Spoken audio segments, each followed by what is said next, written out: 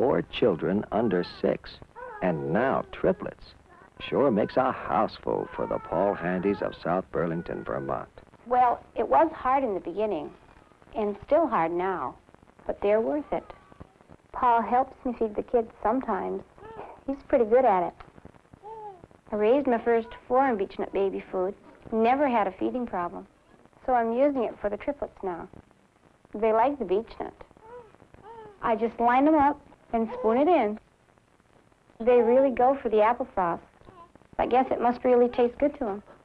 Beech-Nut applesauce does taste extra good because the apples are cooked in their skins for extra flavor. All my kids enjoy their meals, and I know they're getting everything that's good for them.